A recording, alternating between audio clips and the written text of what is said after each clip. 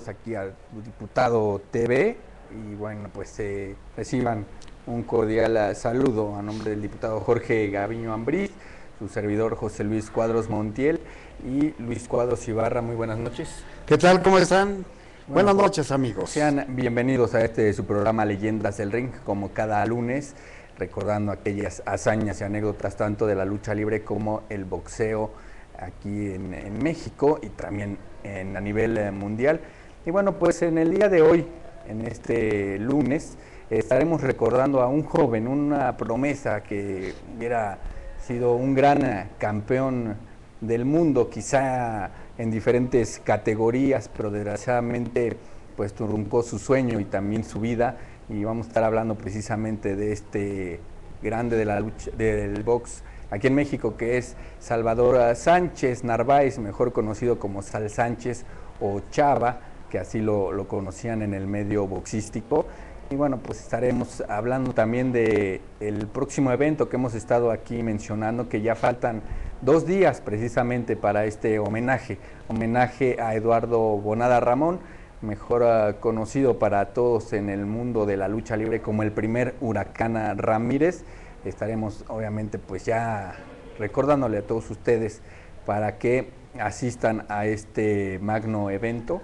Y bien, Luis, amigos, si te parece, comenzamos precisamente con nuestro primer eh, tema, nuestro primer segmento en el ámbito boxístico, que es eh, recordando a la leyenda del día de hoy, que es precisamente, como ya lo mencioné, Salvador Sánchez, este joven, donde gran, gran promesa era este boxeador y que desgraciadamente truncó su vida y su carrera en un accidente automovilístico como tantos otros. Podemos mencionar varios, inclusive por ahí está Carlos Monzón, también el argentino, que también perdió la vida. Por ahí algunos otros boxeadores mexicanos que desgraciadamente pues les gusta la velocidad, eh, obviamente en sus carros lujosos y han ahí encontrado precisamente Mauro Vázquez, otro gran peleador de peso welter.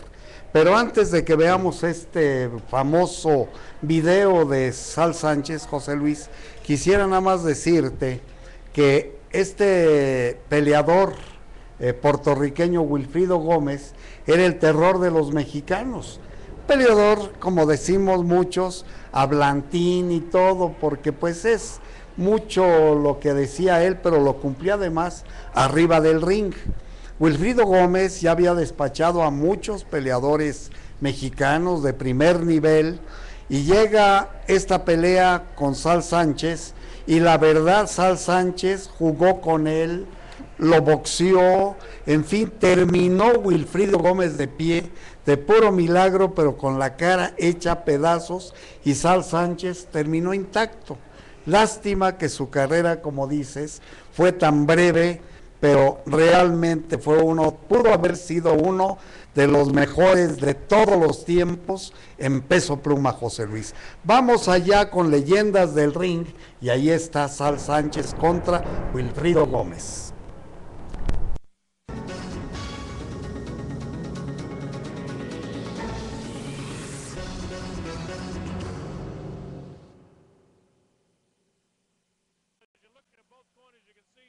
Uh, facial expression of the two of them, which man is out in front to fight. But again, we can't say enough for Wilfredo Gomez for his staying power and the courage that he's had throughout this fight. He's very rubbery-legged. He's very shaky. Okay. Round number eight. Sanchez is unmarked and Gomez look like he's been through a war. They're still fighting hard. Still fighting hard.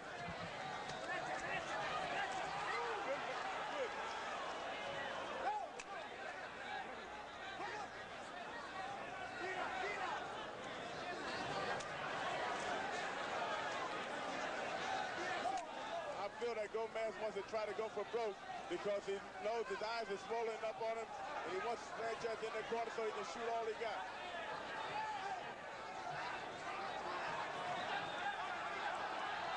Gomez is trying to counter over the, the jab of Sanchez and it's, it's something to see because Gomez's eyes are closed and he's trying to trying to counter a, a right hand over the jab.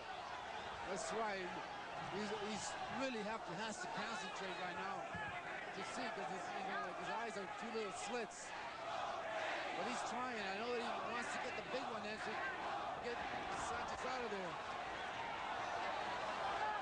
Gomez got hit with a, a right on the counter that time. Three good shots to the body by Sanchez. Three straight left hooks to the body by Sanchez are Three good left hooks to the body, and, and Gomez didn't try to do anything about it. So right. Sanchez shows you again, he got confidence. It is a very, very good fight. Tough fight tonight here at Caesar's Palace. The pace that you folks are seeing right now, it's been like this from the opening bell. That's why I tell you, the fans are getting their money's worth for this one. Again, they're taking trading punches. Gomez is on the rope. He's cut under the nose again. He's hurt. He's hurt. Gomez is hurt. It's down. It's on. Oh, it's gone. Counts up to three. It's four. I don't know if Gomez can make Gomez it. won't get up. He's I don't think he can make it. He won't Up to make it. He's up. He can't see. The ref is stopping. That's it. That's it. Fight He over. the fight. Referee Carlos Padilla stops the fight in the eighth round. A TKO win in the eighth round for Salvador Sanchez, who retains the WBC World Featherweight Championship.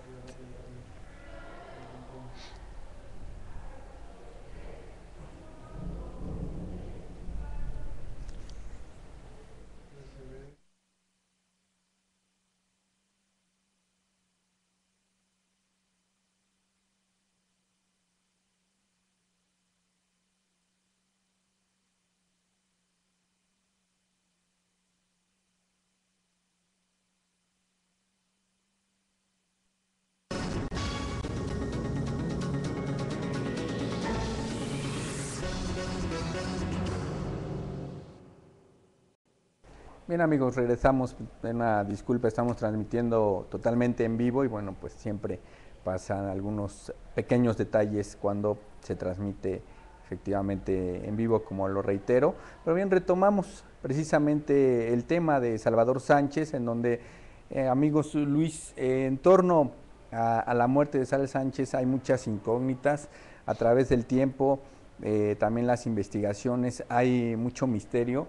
Yo hace algún tiempo platiqué precisamente con el periodista Ernesto Castellanos, no sé si lo recuerdes Luis, Sí, como no. muy famoso ahí en el torno de, en el mundo del boxeo, en, escribiendo en el diario esto, en donde pues él comentaba que en investigaciones que se hicieron, eh, Sal Sánchez eh, está allá en Guanajuato, en donde iba, se iba a hacer su preparación para su próxima pelea.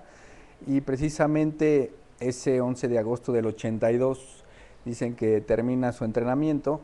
Eh, él no era muy asiduo a las concentraciones que todos los que saben de boxeo pues eh, se llevan a cabo por algunos meses precisamente para eh, previo a la pelea este, esta concentración y dicen que él decide después de entrenar y de comer irse a Querétaro porque ahí tenía le gustaba mucho ir a Querétaro iba eh, tenía ahí algunas amistades y esa tarde noche se fue allá porque había encargado un equipo de sonido para su a su auto deportivo un Porsche. Entonces eh, fue a, a ver este sonido allá al taller, él quedó, dicen los dueños que él quedó de pasar posteriormente por ese equipo de sonido. Eh, de ahí mm, Salvador Sánchez se va a un bar donde tenía amistades, dice que estuvo ahí alrededor de media hora, eh, dicen que no comió nada, simplemente se tomó una, una copa y un refresco y de ahí se, se fue. Esto alrededor de la una de la mañana. De donde estaba ubicado el bar a donde sucedió el accidente automovilístico, dicen que era media hora más o menos eh, el trayecto en el camino. Entonces eh, sale a la una de la mañana y cuando sucede el accidente, dicen que fue a las 3, 3, 3 y media de la mañana. Entonces dice que en ese tiempo, de la una, una y media a la hora que ocurre el accidente, nadie sabe realmente eh, dónde estaba Salvador Sánchez. Y bueno, pues ese es, eh, digamos que el, misterio que, encierra en torno a su muerte, por esos, eh, esas horas donde dicen que, que nadie sabe eh, dónde pudo haber estado. Y, bueno, pues desgraciadamente sucede este accidente el- un 11 de agosto del 82 y muere, bueno, ahí este gran boxeador mexicano que después de su muerte a la fecha se ha vuelto una devoción cada año ir a, su tumba. Muchos amigos boxeadores, familiares precisamente van allá a, a su tumba en, en esa fecha. Y bueno, pues hay muchas hasta peregrinaciones que van precisamente allá a, a ver al panteón a Salvador Sánchez Narváez.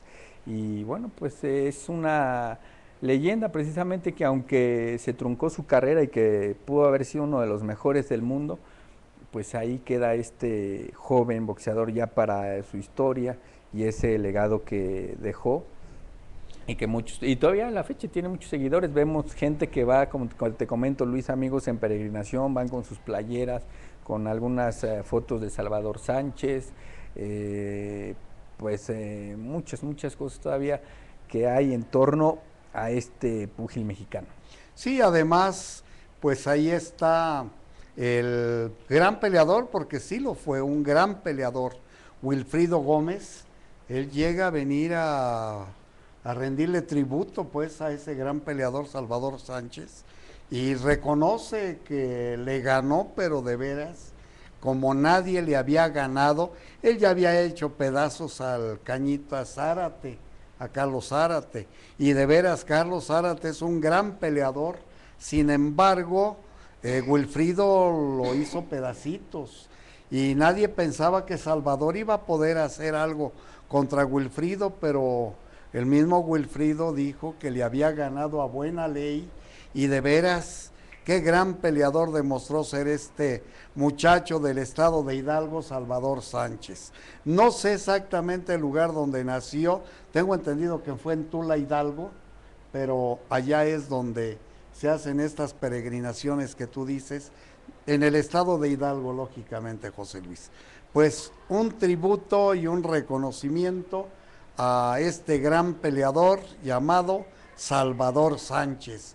Y bueno, pues ahora vamos a comentar algunas otras cosas. Decías que todavía por ahí te queda en la memoria lo del ah, gimnasio Gloria. Bueno, pues fíjate que después de que ya se cumplió una semana precisamente de que cerró sus puertas con esa última función, pues todavía en las redes sociales ha causado mucho revuelo esta noticia. Por ahí han salido algunas publicaciones en diarios aquí de la Ciudad de México respecto al cierre ya definitivo de este emblemático, emblemático gimnasio con 90 años de tradición en donde se forjaron grandes boxeadores y sobre todo grandes luchadores, como bien lo comentamos hace ocho días, ahí se forjó los villanos, el perro aguayo, por ahí también estuvo Ray Mendoza, daba este, estuvo en este gimnasio, algunos de ellos ya después de ser consagrados en este deporte, pues también daban clases, algunos invitados que hemos tenido aquí precisamente ahí entrenaban, daban clases y bueno, pues cerró sus puertas. Y pues mucha gente, sobre todo de la colonia Morelos, que era muy asiduo ahí a, este lugar para ver las funciones de cada ocho días que se hacían ahí de, lucha libre, pues están ah, tristes y han protestado precisamente el porqué de su cierre de este gimnasio tan tradicional, donde salieron grandes campeones del mundo, hablando precisamente del boxeo. Y bueno, pues desgraciadamente ahí el que tuvo la palabra fue el dueño del inmueble, que, que desde hace tiempo lo rentaba a, Black Shadow Jr., precisamente le rentaba este lugar. Y bueno, pues el dueño tiene sus razones, el por qué cerró sus puertas, y por ahí se rumora que precisamente eh, al cerrar ya como gimnasio van a poner algún otro giro comercial, ¿no? Entonces, eh, por ahí decían que nadie hace algo por impedir este cierre, pero bueno, pues el dueño tiene, es ahora sí que el que decide y el que manda respecto a su inmueble, y bueno, pues eh, así son las cosas, desgraciadamente pues se cierra sus puertas este legendario lugar y pues simplemente quedará como el recuerdo nada más. Fíjate que tú lo dices, estos inmuebles deben de ser recuperados y el gobierno del Distrito Federal, pues yo considero que podría hacer mucho, no algo, sino mucho, para que sigan ah, pues funcionando como tal. Yo conocí este gimnasio hace muchísimos años, te hablo tal vez de 50 años, en donde estaba Dientes Hernández como entrenador de un grupo de muchachos muy numeroso. Eh, la verdad, para aguantar una rutina diaria o cuando menos cada tercer día, para practicar la lucha libre, requieres de tener una dedicación, un amor a este deporte que yo en lo personal no tuve. Lo primero, cuando llegué ahí, me dice el maestro Dientes Hernández, a ver, date 10 marometas de ida y 10 de regreso. Lo hice, pero cuando me paré me fui de lado y anduve un rato sinsagueando, porque tienes que ir a acostumbrarte a la marometa, que es lo más sencillo que te ponen. Pero después de esto vienen un sinfín de deporte, de, de, de, de movimientos, de ejercicios, que tienes que cargar a tu compañero en los hombros y hacerte 20 sentadillas. Y luego después él te carga y se hace sus 20 sentadillas. Y la verdad, la verdad es algo muy agotador y muy fuerte. No todos tenemos esta pues voluntad férrea. Otro inmueble, y voy a hacerte una, un pequeño espacio del programa, de decir lo que se va acabando y se va destruyendo. Ejemplo, es la casa de Pedro Infante en Coajimalpa. Esa casa tenía alberca, tenía iglesia, tenía gimnasio, el mejor de su tiempo, y esta casa pudo haber sido algo como un museo para Pedro, donde se hubiera dado peleas de box, porque él practicaba mucho box ahí, tenía su cine, eh, o sea, para el turismo hubiera sido algo increíble. Playeras, es el tipo más vendible todavía que existe en la actualidad, y ahí pues se pudo haber hecho de todo, bohemias, canciones, mariachis. Desgraciadamente un día pasé y ya vi que la casa estaba derrumbada, no había más que un solar baldío y después de esto pues ya no supe qué más existe por ahí. Pero así como esto, hay tantas cosas que me dicen algunos, eh, pues algunos amigos argentinos, que si tú vas a Buenos Aires tienes que ir a la casa de Gardel. Y aquí pudo haberse hecho con el ídolo de México, Pedro Infante, algo muy parecido. Si vas a México, tienes que pasarte un día en la casa de Pedro Infante. Y para el luchador, un museo todavía con actividad, que es este gimnasio que tú mismo acabas de nombrar, Gimnasio Gloria. Claro, bueno, pues eh, como en otro ejemplo que así lo hicieron ahí en Estados Unidos con la casa de Elvis Presley, ¿no? donde también ya ahora es museo y te dan un recorrido fantástico por todas las habitaciones, hay exhibición de pertenencias, eh, sus trajes y demás, que también es un atractivo turístico muy importante, que donde hay bastante eh, gente que va precisamente a conocer y dar eh, el tour en, su casa y como bien lo comentas en este caso en el gimnasio Gloria, pues así debió de haber eh, sido. Desgraciadamente ya en estos ocho días en las redes sociales circulan fotos donde ya totalmente desmantelado este gimnasio y bueno, para todos aquellos que nombran que el gimnasio Gloria fue su segunda casa, pues están muy tristes por esta situación y que desgraciadamente pues no recibieron apoyo pues prácticamente de nadie más que de la comunidad que se expresó afuera del gimnasio con pancartas donde decían no al cierre del gimnasio, no al cierre de la historia de 90 años.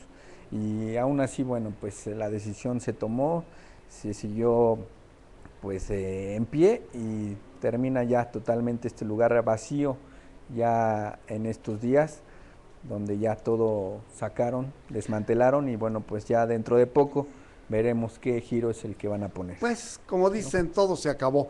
Pero Así hace es. ocho días platicando aquí con Cuchillo y sus alumnos de actuación, que también yo creo que practican lucha libre, pero sobre todo estuvieron hablando, hablando de actuación, eh, estuvimos comentando que pues la actuación es algo muy bonito, muy especial, muy difícil.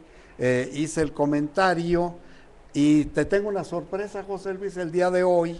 Rescaté por ahí una esa escena que comentamos hace ocho días, donde estás actuando precisamente con un gran actor llamado Carlos Amperio, y que esta película, a pesar de que pues se ve como película de barrio, barata, ya analizándola puede servir incluso para pues estar hablando también de lo que son adicciones. Aquí hay un programa de adicciones y puede funcionar muy bien para que se vea pues en lo que vive nuestra juventud. Pero vamos a ver esta escena y quisiera que me comentaras algo, porque los que estábamos ahí, tanto técnicos como un servidor, que yo estaba dirigiendo esa escena precisamente, al final yo pensé que te habían roto el cuello, cuando menos lastimado, no roto, si no, no estuvieras aquí. Pero esos actores creo que se la saben de todas, todas y hacen muy bien las cosas sin que jamás llegue nada a tener problema. Eh, vamos a verlo, José Luis, esa es la sorpresa que te tengo el día de hoy.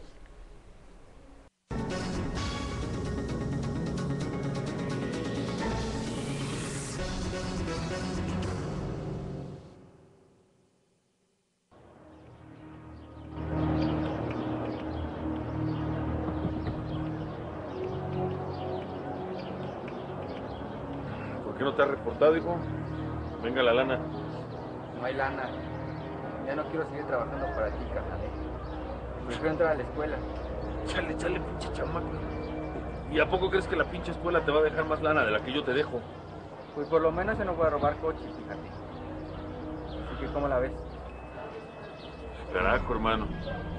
¿Cómo cambia la gente? Pero pues lo único que me queda es felicitarte, carajo. Qué, qué chido que toda la banda de todos los chavos se salían de las drogas y, y- y de los robos y, y se metían a la escuela, cabrón. Ahora vas a ser un hombre de bien, ¿no? Claro. Felicidades, hermano. De veras. ¿Qué crees, pendejo? ¿Eh? ¿Que te vas a poder salir así nomás de huevos, güey?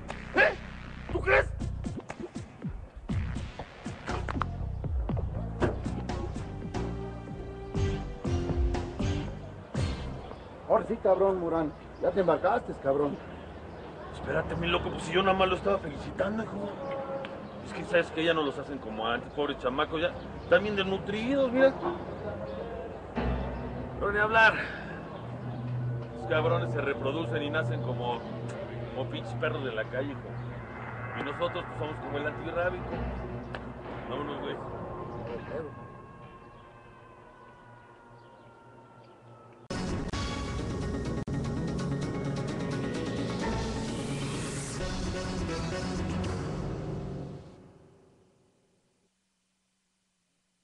Vaya, como bien lo comentas, so- sorpresa y sobre todo, bueno, pues ya de hace algunos años esto que acabamos de ver, ¿no? Bastantes, bastantes Podríamos años ya. decir 10 años aproximadamente. Así es, rápidamente. Y bueno, como bien lo comentas, bueno, pues es un ah, placer eh, el haber trabajado, bueno, pues con grandes actores, ¿no? Que ya tienen varias películas en su haber y sobre todo, bueno, pues que se la saben, como se dice, y sobre todo que son gentes de, de acción, ¿no? Saben, saben hacer ese tipo de escenas y sobre todo, bueno, para que salga bien. Y bueno, fue una experiencia muy agradable e inolvidable ese día, en donde, bueno, pues eh, inclusive minutos antes, bueno, fue la sorpresa, antes de, de filmar esa escena fue una gran sorpresa precisamente, el pues saber que, que iba a estar en esa, en esa cinta. Y Sí. bueno, pues vaya que, que fue un aprendizaje más en la, en la vida y sobre todo que prácticamente, eh, bien me vas a, rectificar esto Luis, Se dio más o menos cómo iba a ser la escena, de lo que se trataba, pero en cuestión de los diálogos, pues casi en su mayoría fue improvisado, porque no hubo realmente ya el guion, ya tenían varios días filmando esta película. Cuando yo llegué, pues ya estaban casi en, lo, en las últimas escenas por filmar ya para mandar la edición. Y pues nada más explicaron en- ahora sí que cómo iba a estar la toma, el lugar y más o menos lo que se tenía que decir a grosso modo. Nunca hubo así unas líneas textual, textuales en donde repetirlas. Y bueno, pues ahí también fue la, la ayuda, la réplica que tenía pues de este actor de Carlos Amperio, pues para poder hacer la escena. Y bueno, pues afortunadamente ahí los eh, productores y directores eh, pues checaron la escena y no hubo segunda ni tercera toma, así como la vimos ahorita, así salió desde la primera vez y sin repetirla y pues prácticamente ya no recuerdo Luis, eh, recuérdame esto, no hubo ensayo me parece para hacer la, No, la no hubo toma. ensayo, no, así como venía se hizo. Na- nada más eh, nos indicaron eh, dónde tenía que estar ah, parado y cómo llegaba este actor Samperio. Y eso fue la única indicación, dónde iba a estar la cámara y eso fue todo. Pero fíjate que lo importante de todo es que estos actores se la saben de todas, todas. El papá de Carlos Samperio también fue un actor, Alfredo Gutiérrez el Turco, un hombre que hizo cine toda su vida. Carlos Samperio ha de tener 100 películas en su haber. Estaba Flavio Peniche. La verdad, mis respetos para Flavio, es un actorazo. Pero actorazo en serio. Yo lo admiro mucho. Y pues, ¿qué te puedo decir de los demás? Bernabé Melendres, todos son muy buenos actores ya con una experiencia increíble. Y trabajar con un actor de esta categoría como Carlos Amperio, te tocó como Agustín Bernal. Por cierto, quiero comentarte de esta otra película donde interveniste, que también son cosas difíciles. Con Agustín Bernal, eh, pues es un hombre muy fuerte, grandote, un roble, pero ustedes son como 30 contra de él. Y esa vez mandaron pedir navajas de utilería, pero no había y tuvieron que conseguir navajas de verdad, tanto para el que lo atacaba como él. Agustín Bernal traía un cuchillo, pero increíble de esos de Rambo, pero de a de veras. Entonces, al momento en el cual empezamos a armar la escena, este, me dice Agustín, dile a tu hijo, por favor, que, que viene con la navaja, pero que me quite las manos, porque no vaya a ser que cuando haga el movimiento le vaya a cortar una mano. Entonces que llegue, entre, me amenace y cuando le tiro el navajazo, que las manos me las ponga hacia atrás. Yo le mido el estómago. Perfecto. Y ahora mi pendiente es un resbalón o algo caes y con la que llevas en la mano puede haber el problema. Se hizo y por aquí creo que quedaste con unos raspones en los brazos. Fue, no fue en esa escena, fue en, en otra que se filmó también en una pelea callejera. Fue donde ahí este, hubo ahí el incidente de, de algunos este, raspones. Pero bueno, pues es parte de, de- es parte trabajo. del trabajo. Ahora mira, ya vimos esta escena tuya. Quiero invitarte a que veas una de esa misma película con este gran actor Flavio Peniche, donde estamos en una prisión con unos luchadores en un gimnasio. La armamos así porque la escena principal me habían dicho que la íbamos a hacer pues en, ahí en una celda ahí platicando, no, no tiene que haber acción, ya metí luchadores, eh, un gimnasio que se vea movimiento y parece que la película, a pesar de que al principio se veía muy baratita, sin mucho por venir, creo que a la larga, como las películas del santo, se va descubriendo que tienen algunas cosas hasta mensaje y te invito a que veamos esta otra parte de Cholas Satánicas, José Luis.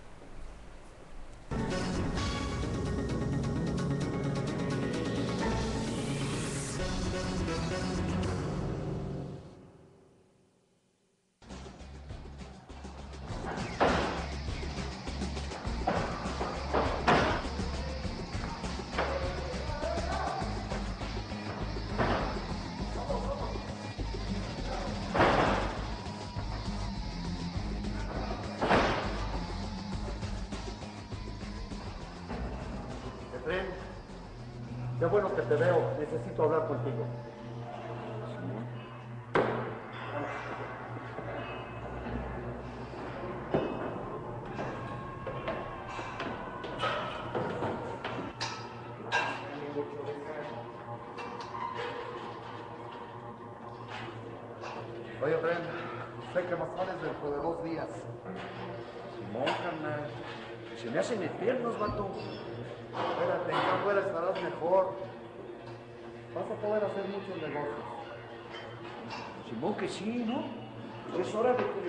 La life lo que me ha quitado, ¿no? Espérate, eres joven, tienes mucho tiempo por delante. Lo que quiero es que a ver si podemos hacer unos negocios. Mira, tú estás aquí por droga, ¿sí? Sin embargo, podemos meter chamacas bonitas aquí al reclusorio, ¿me entiendes? Tú necesitas hacer otro tipo de negocios que no te relacionen con los amigos.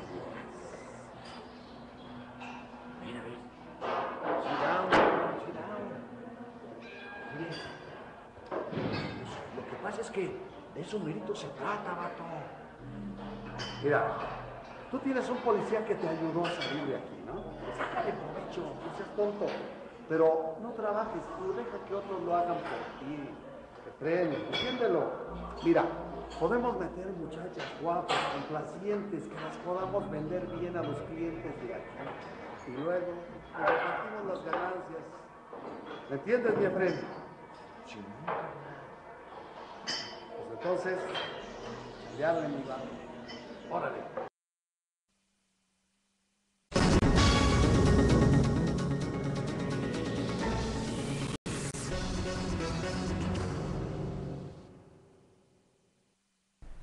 Bien, pues esto fue la, la parte donde estábamos eh, pues ahí en la cárcel.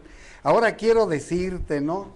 Que hice pues una gran cantidad de películas, tal vez cinco, con Flavio Peniche, que aparte de ser un gran actor, eh, hay una situación pues muy especial. Flavio mide exactamente dos metros con cinco centímetros. Si un, en el campeonato mundial decían, este jugador es un gigante, con 1,93 pone 10 centímetros más a Flavio y pues caray, sobrepasar los dos metros, pues no hay muchos de esos en México. Yo con mi menos del 1,70 me paro junto de él y caray, en todas las películas me preguntan que, bueno, mucha gente dice, bueno, y este enano, ¿de dónde lo sacaron? Y yo me considero casi normal, ¿no? Casi. Pero uno, digo, 2.5, pues es una altura increíble la de Flavio Peniche, José Luis.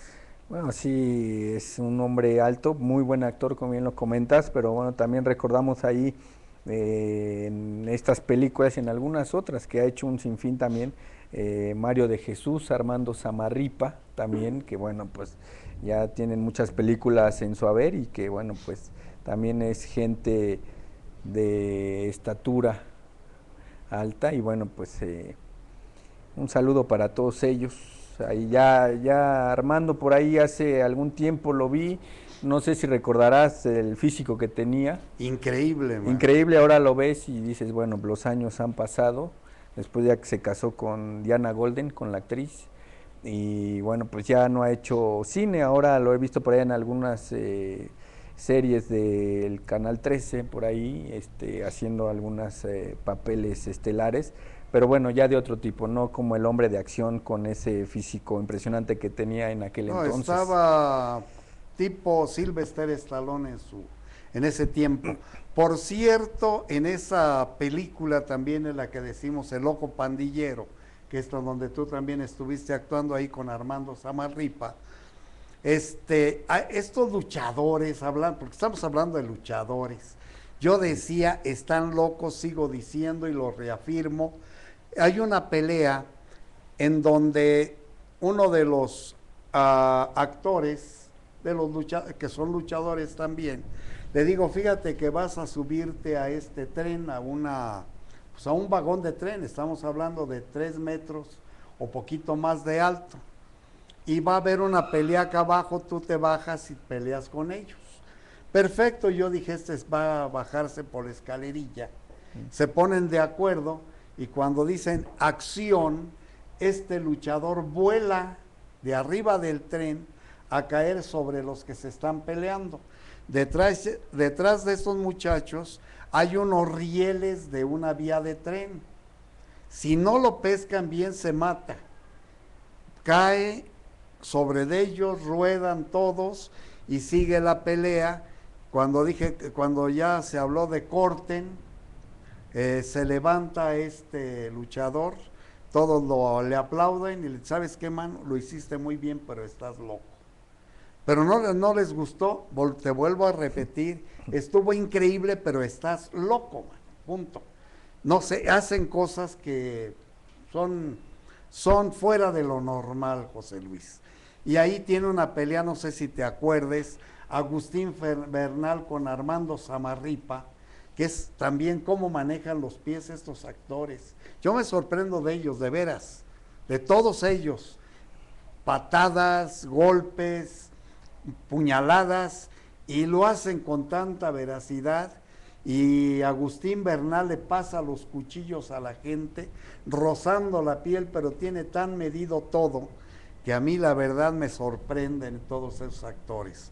Un día dijo Ernesto Gómez Cruz, yo soy actor, no soy atleta, y me pongo a pensar, bueno, y Mel Gibson y todos ellos serán actores o serán atletas, el mismo Joaquín Cordero en México, que era un actor de acción, un Fernando Casanova que manejan pistolas, caballos, son actores y son atletas. No sé, pero esto me recuerda muchas cosas, pues muy agradables, José Luis. Claro, bueno, pues también ahí se les llama algunas veces hombres de, de acción que precisamente, bueno, pues tienen ya medido todo este tipo de escenas en donde, bueno, pues también estas peleas que, se, que comentas, eh, pues son pues, prácticamente coreografías precisamente y se ensayan, bueno, pues bastante, bastante tiempo para que salga pues bien la escena y como bien dices, real prácticamente. Yo veo una película hablando ahorita de esto llamada Nosotros los Pobres. Al final de la película hay un pleito increíble de Pedro Infante contra Jorge Arriaga y dos actores más en una Bartolina de la cárcel. Y es una pelea callejera donde se revuelcan desde el suelo, avientan patadas, se rasgan la ropa.